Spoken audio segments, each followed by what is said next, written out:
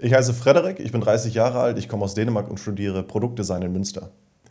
Ich habe elf Semester Theologie studiert und war sehr unzufrieden mit der ganzen Theorie und habe gemerkt, mir fehlt etwas. Und daraufhin habe ich mich entschieden dafür, Designs zu studieren. Ich habe zuerst eine Ausbildung zum Tischler gemacht, um eine handwerkliche Grundlage zu haben und habe mich daraufhin an der Akademie für Gestaltung an der Handwerkskammer Münster für ein Designstudium beworben. Hier seht ihr mein Gesellenstück.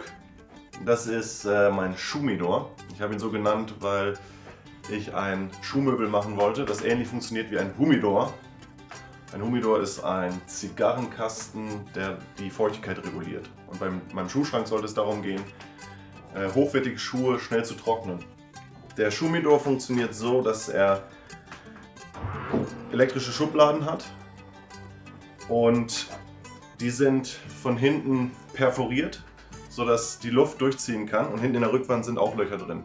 Das heißt, die Luft kann zirkulieren. Und zusätzlich habe ich äh, bei der Materialwahl darauf geachtet, dass ich die richtigen Hölzer nehme. Zum Beispiel sind die Innenschubkästen aus Zedernholz, sodass die Feuchtigkeit aufgesogen wird. Können die Schuhe immer schön trocknen. Ich habe mich äußerlich an dem skandinavischen Design der 50er, 60er Jahre orientiert, mit runden Ecken und gleichzeitig versucht, das etwas in unsere Zeit zu holen. Der Schumidor hat 2016 den Preis für die gute Form des Landes NRW gewonnen und da bin ich äh, sehr stolz drauf. Das war ein gutes Erfolgserlebnis. An der Akademie beschäftigt man sich hauptsächlich mit den Materialien, mit denen man auch in seiner Ausbildung zu tun gehabt hat. Also als Tischler zum Beispiel mit Holz oder als Schlosser mit Metall und so weiter. Aber man lernt auch alle anderen Materialien kennen. Das Schöne an dem Studium ist, dass man einen kompletten Überblick bekommt über die Materialien und die Gewerke, die es gibt. Zum Beispiel haben wir Projekte zum Thema Metall, Kunststoff, Holz, Textil, Schmuck und so weiter. Das heißt, selbst als Tischler bekomme ich einen guten Eindruck von all den anderen Materialien, die es gibt. Das Schöne an dem Studium an der Akademie ist, dass man ein Netzwerk hat viel, von vielen verschiedenen äh, Gewerken, das man auch später in seinem Berufsleben gut nutzen kann. Man lernt viele verschiedene andere Handwerker kennen, die auch einen Designanspruch haben an ihr Gewerk.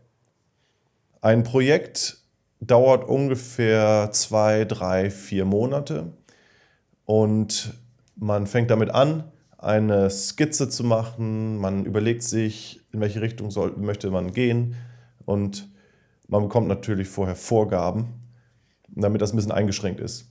Und wenn man viele Skizzen gemacht hat, dann wird das häufig vom Dozenten über den Haufen geschmissen und man fängt von vorne an. Und wenn man dann sein Projekt gefunden hat, dann äh, legt man los und baut Modelle. Man bastelt gerne mit Papier oder mit irgendwelchen Collagen. Und wenn man dann sich angenähert hat, fängt man an, Modelle eins zu eins zu bauen aus irgendwelchen günstigen Recyclingmaterialien. Und zum Schluss baut man dann aus hochwertigen Materialien seinen Prototypen. Ich habe jetzt äh, kürzlich meine Zwischenprüfung abgeschlossen, das heißt, ich habe noch ein gutes Jahr vor mir. Im Sommer nächsten Jahres bin ich fertig. Das hier ist meine Zwischenprüfungsarbeit. Das ist ein modularer Raumtrenner. Ich wollte dieses Ding, diese spanische Wand, äh, diesen Paravent oder wie man den nennt, wollte ich neu interpretieren und versuchen, eine, so einen Raumtrenner zu bauen ohne Scharniere, weil ich finde Scharniere, die stören irgendwie immer. Deshalb habe ich da Magnete eingelassen in diese Rahmen, sodass man die einfach auseinandernehmen kann.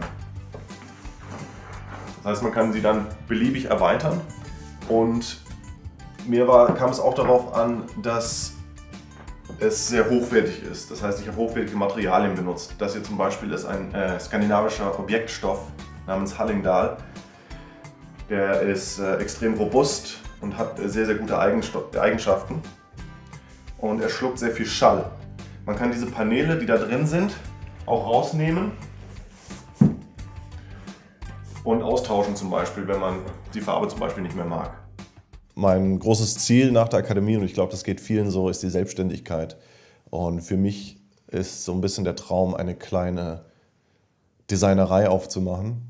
Eine Mischung aus Prototypen herstellen und für Leute Dinge planen, vielleicht auch als outgesourceter Designer für Firmen zu arbeiten, die Produkte brauchen und einfach mein eigener Chef zu sein. weil das auch eine Leidenschaft ist von mir und da möchte ich auch viel Energie reinstecken. Aber wenn jemand kommt und mich äh, fragt, ob ich für ihn arbeiten möchte, eine große Firma zum Beispiel, und mir sehr viel Geld anbietet, dann würde ich wahrscheinlich auch Ja sagen.